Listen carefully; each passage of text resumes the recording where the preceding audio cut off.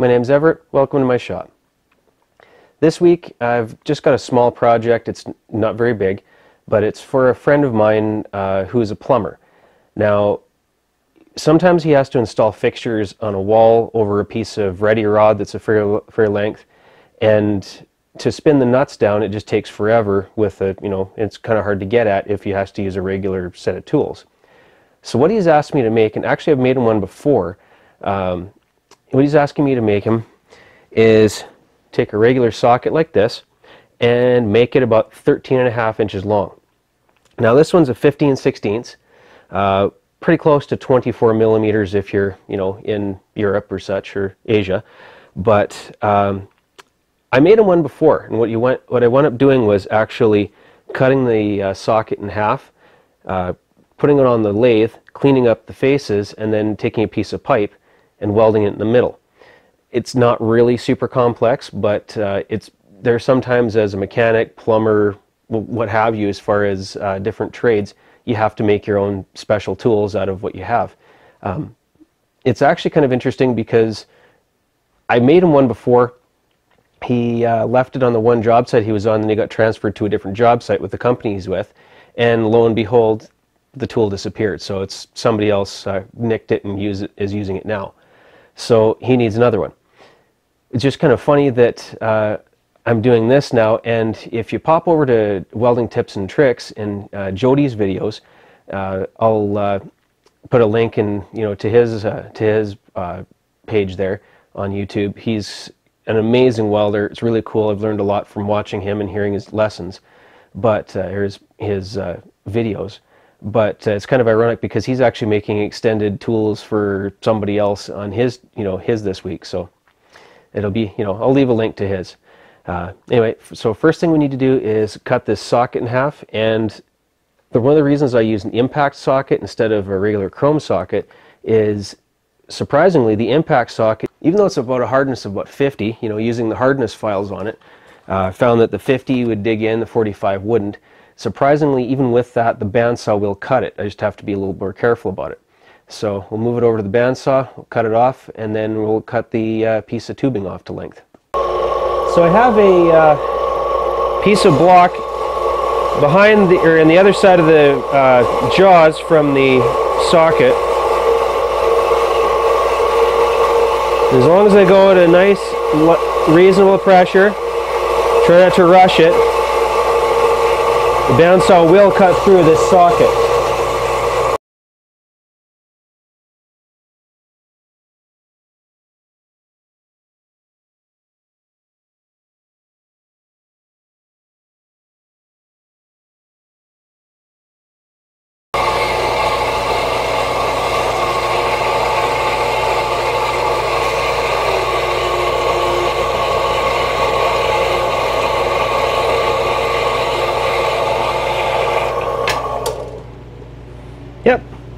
Just that easy. So now to make the middle piece, we're going to use 1 inch Sked 40 pipe and we're going to cut off a piece about 10 inch, uh, three, 10 and 3 quarter inches long.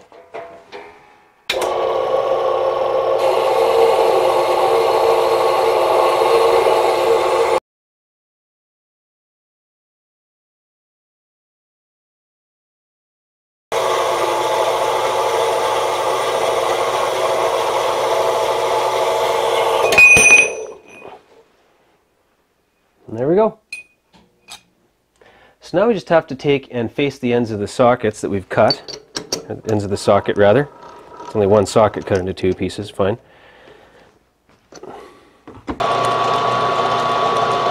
This is a fairly hard steel, so I don't really want to be too rough on it.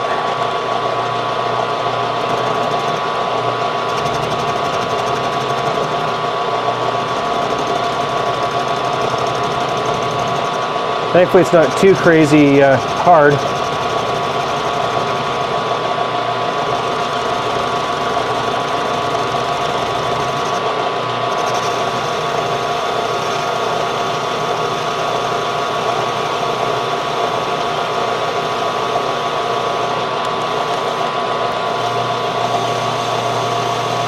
I need to skim through the uh, surface coating so it'll make a decent weld.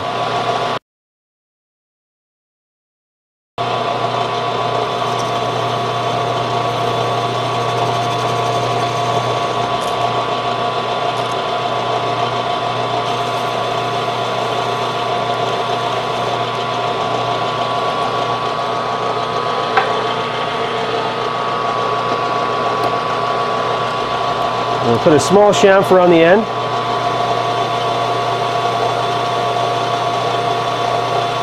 With a chamfering tool.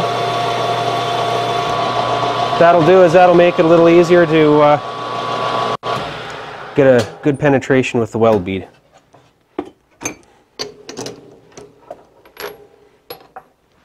One piece done. Next piece.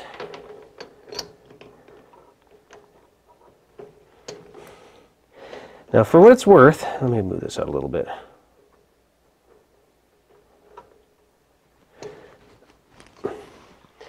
Now he's not going to be using this tool or the socket at a very fast speed and runout is not runout's not the biggest problem with this. We just want to make sure it holds.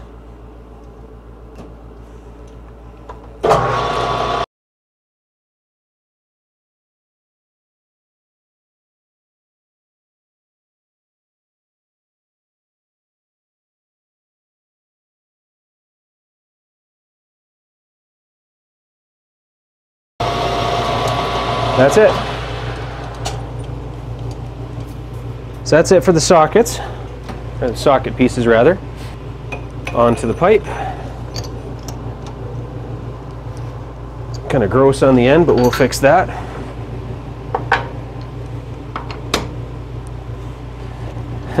I guess you could say ugly is only rust deep on a piece of steel, eh?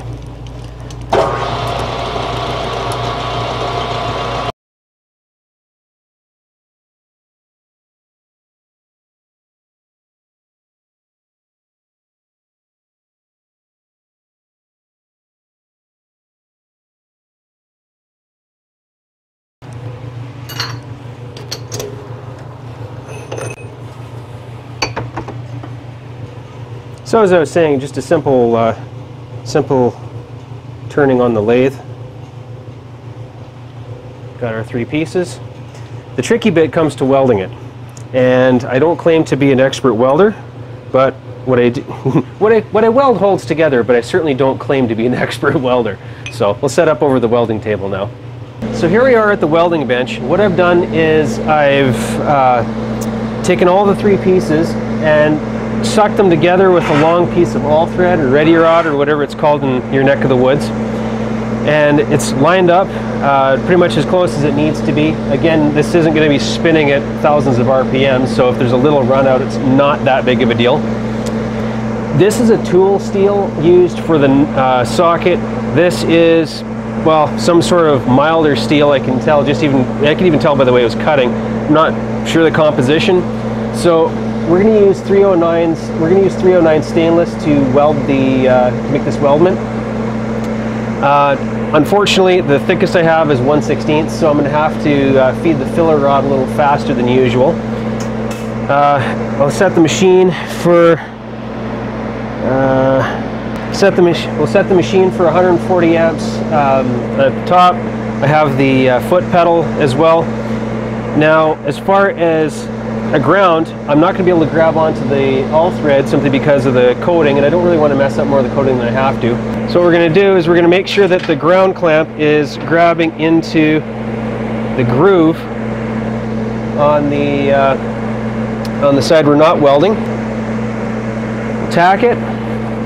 I'll, uh, I'll tack a couple spots and then we'll we'll weld it. I do apologize about the welder fan noise and about the fact that I'm not a I realize I'm not a professional welder, so please be kind in your comments.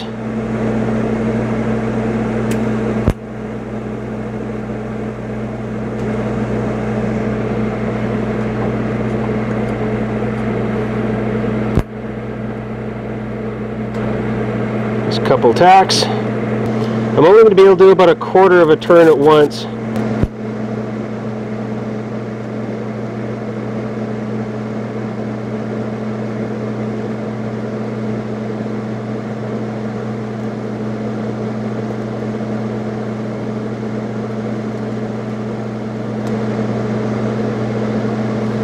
Yeah, that's kind of ugly.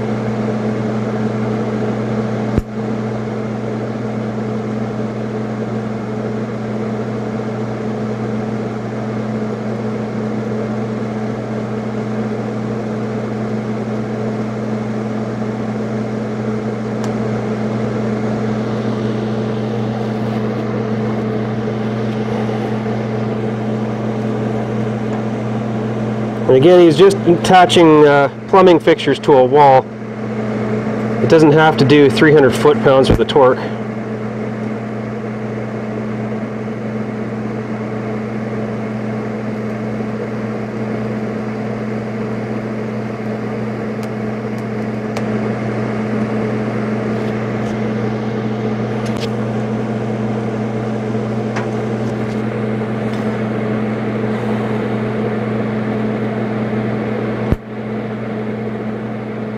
I don't know you, but it seems like the older I get, the shakier I get. Oops. Yeah, my arc started drifting a bit.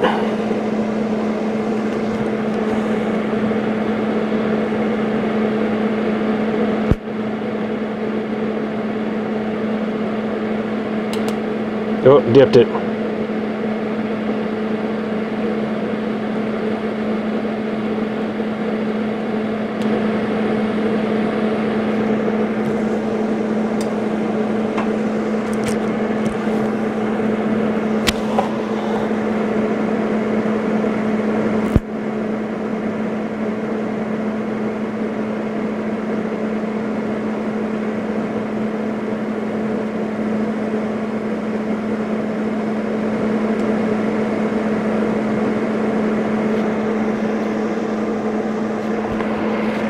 There we go, that's one end. Again, not super pretty, but it will hold. And for the purposes we need to do, or it needs here, it will be just fine.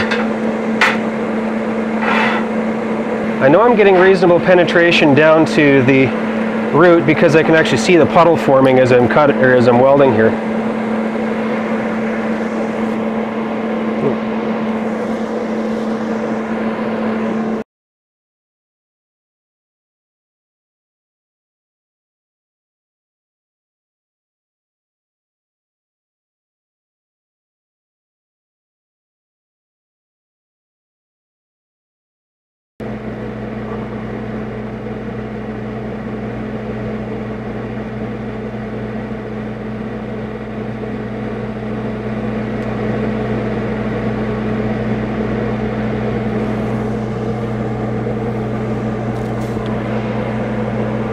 There you go.